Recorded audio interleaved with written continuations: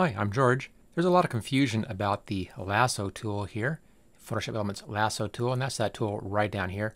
Part of it is that there are three tools. We have the regular lasso, the magnetic lasso, and the polygonal lasso tool. So the question is, when do you use which one? Which one is the best to use? I'll be going over all of that in this video. There's also a lot of options over here. We have the new option, add, subtract, and intersect, and this anti-aliasing thing. I'll tell you what that's all about as well. And finally, we have this feathering option over here, right-hand side, and the refine edge option. So let's take a look at this. And when I personally would choose one over the other, I tend to go back and forth between these two most of the time, and I don't use the magnetic that much, but it is good in certain circumstances. Okay, let's go ahead, we'll take a look at these. But first, make sure you hit that like button and click on subscribe, and take a look at my complete training course for Photoshop Elements. The link for that is right down there in the description. Okay, I have three pictures up here. This first one, here's a second one here, the butterfly on it, and here is a third one with kind of a very difficult selection problem in there. We'll start off with this. Now, here's where I might be using the standard lasso tool. Now, the lasso tool makes a freehand selection like that. And to finish it off, you always go back to your starting point or close to it, and it will then close that down. Now, normally this is going to be set on new over here. So if I click on it, it's going to deselect, and then I'll make a new selection again you know, whatever like that.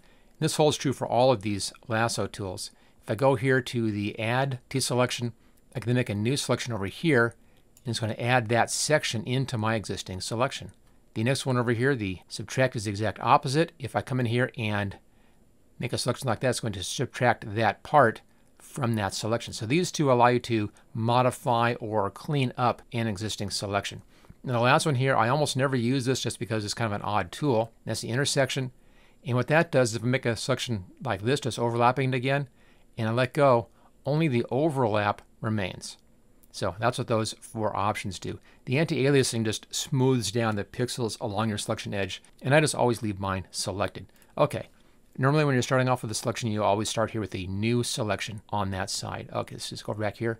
Now the reason why I would use this is if I'm planning on doing something else with that selection after I've made it. Two of those possibilities are the refine edge tool. Say I wanted to remove the background around the girl and I wanted to use a refine edge around her hair, then that would be a good use for this particular tool.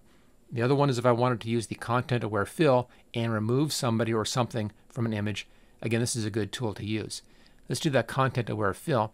I'll just come in here, I'll make just a little selection like this. Now with the content aware fill, you want to be a little ways away. You don't want to be right up against your image or whatever it is you're trying to remove. So Give yourself a little bit of space around it. doesn't need to be too much, just a little bit of space. And this tool allows me to be pretty fast about this. And just overlap your beginning spot. So I've made a basic freehand selection using the regular lasso tool. So I'll go up to Edit, come down to Fill Selection, and Content Aware is the option right there. Choose OK. Nothing fills up with content from elsewhere in the image, and it gives you a pretty good job, as you can see.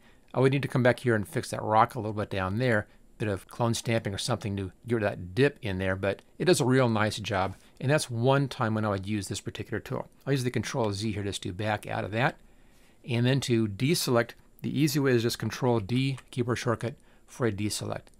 All right, let's say I wanted to make a selection around this girl, and I wanted to do a nice selection around the hair. That's a good use for the Refine Edge tool. So again, I'll use the same tool, and I'll just make a selection right around the person. Now, if I'm doing a refined edge, I may be coming in a lot closer this time. I'm not going to be actually touching the edge anywhere, but it's going to be a much closer selection. I don't want to have that much excess stuff with this particular tool. So it's a lot closer than I just did for that content aware fill. Let's go back here to the beginning like that. So now I have a close in selection. I can then click on that refine edge button right here. And then using my brush tool, I can brush right along this edge and Photoshop Elements goes in and re-examines that edge inside of that area I'm brushing into and tries to make a much tighter, much better selection. So even though I'm not doing a careful selection with that selection tool, I'm letting the refine edge option here come in and solve that part of that for me. So let's just cancel that out. And again, Control D to deselect that selection. And I'll put this back to fit screen right here. Okay, back to our tools again. The last option down below here is the feather, and this creates a softness on an edge. Right now it's at feather zero. If I can show this real fast. I'm just going to make a real quick selection around here. I'm not going to be real careful about this one at all. Like that. There's a selection. I'll go up here to layer and come down to new and via copy. And that copies everything in that selection onto a new layer. If I now hide that, notice how this has a hard edge on that selection. Okay, let's just go back here again. I'll delete that layer. And that's where the feathering comes in. Now to use the feathering, you have to set your feathering number before you use the tool. So I'll set this up to a pretty high number. I think 20 pixels might be nice. You can type it in or just use the slider control on that. Either way works. There we go. I'll do the exact same thing. So I set my feathering before I used the tool. And we'll come around like this and make this selection. There we go. Same trick again. Layer, new, new layer via copy. Looks the same. Let me hide that background. And notice now the edge is soft or feathered. So that's what that feather option is. It gives you a soft edge in here. And it's real nice if you are clipping something out and you want it to fade into something else, or fade into a different background. That's the easy way to do that. Okay, let's just get rid of that layer. So that takes care of looking at the standard lasso tool right here and all of our standard options over here on the right hand side. Now these options remain the same for the other two lasso tools. They're just used a little bit differently. Let's now go over to the butterfly here, butterfly picture. This is a good example of where the magnetic lasso might do a good job. Let's say I didn't want to use refined edge on this, which I could, but so I wanted to have just a nice hard edge sharp selection. The easy way to do that is with the magnetic lasso tool. You have a lot of adjustments in here with contrast, frequency, and feather. I'll leave my feathering at zero.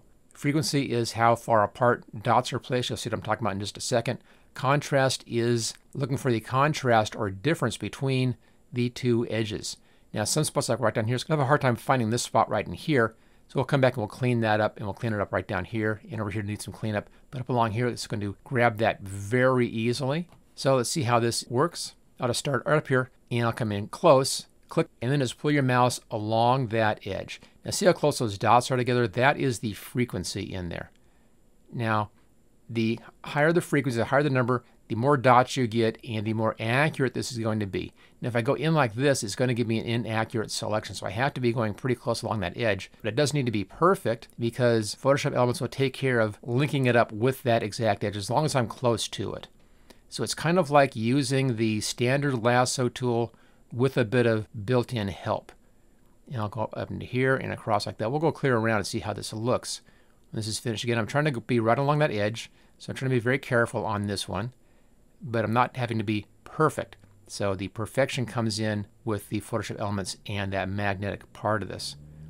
And on these kind of selections, take your time. Don't go too fast. If you go too fast, you begin making mistakes. So just work clear around. Now with this tool, if I want to move this someplace, I actually can let go of the mouse for a second. I can move my cursor around and then click and hold again, and it's going to begin to place down those dots. So we actually can do it that way. Just going to go around the head. I'm not going to bother with those antenna for this demonstration. And back to the starting point. If you get close, just double click and there's our selection. You can see it did a pretty good job of staying right against that. It missed it up here. It missed it down there where we did that miss on purpose. Actually found that pretty well down below here. And right hand side, it kind of messed up right there where we did our little example. So pretty nice job. Now you can fix those things. Zoom in a little bit right here. And the nice thing about this, I can go back in and clean it up by going back to our tool. And I'll go over here and add, let's just go right along that edge, like that. And just following the edge where it was missing it. And then down and around and back to where you started at. Double click and that should finish that off and that gets that edge for us.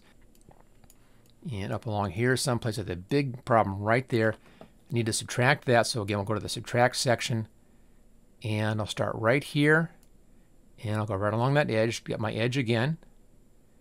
And the magnetic lasso finds it for me. And then out and around the part I want to get rid of and back to my beginning spot. Double click right there and that takes care of it. Now you may have to go back and forth a bit like right here. I need to go back in, add that little bit in.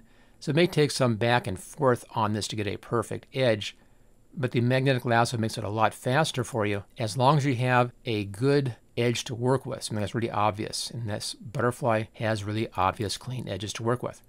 Okay, let's go back to our fit screen. There we go.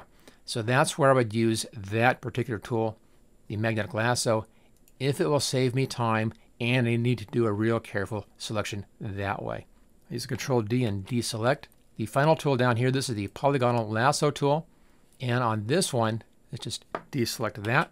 You click a point and then move your mouse and click another point, move your mouse, click another point. So it puts in straight lines between the points that you're clicking. Now because of this, this is a very accurate tool to use. So I make real small points, I can make really accurate selections. And then back to your beginning point to close that selection down. Okay, Control D. If I was using it here on the butterfly, I would zoom in on this like that.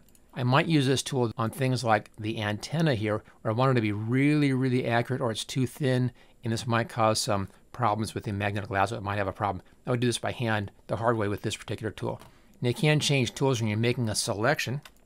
Let's say I had the magnetic lasso tool here. I'll just do part of this and make a selection right around in here with this tool up around here, around the head like that. Using this what it's good at, which is finding those edges for us. And then around this side. Let's say I, would finished off that whole butterfly down below, go back to the beginning point. There's my selection. I can now change tools to a different tool. Click on Add, and I can then use this to add in something else like this leg up here. I can come in and very carefully find that leg right here. This also is nice using the polygonal lasso tool. If you have a very soft edge like this, the magnetic lasso is not going to be able to find that soft edge. So I can come in and eyeball where that should be using the polygonal lasso tool. It takes more time, but it's going to find that edge that I couldn't find the other way.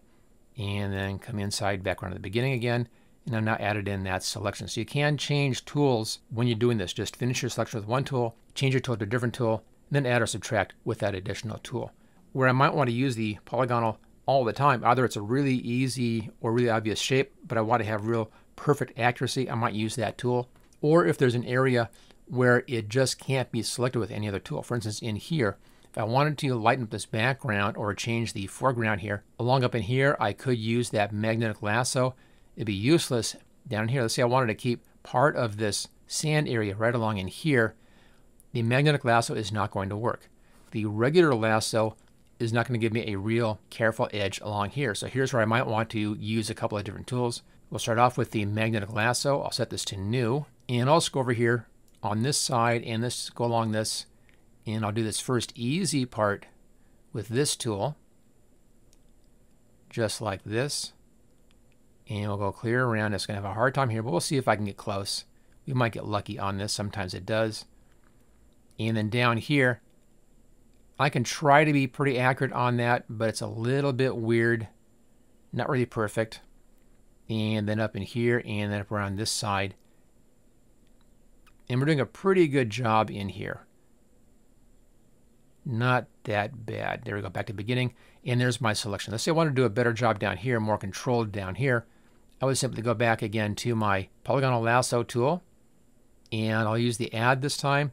And I'll start over here, just kind of overlap. And then I'll come around and I'll come in and do the area I want to have, which I wasn't able to find with that magnetic lasso. And also it's a lot smoother as you can see. And I'll just bring this around over here.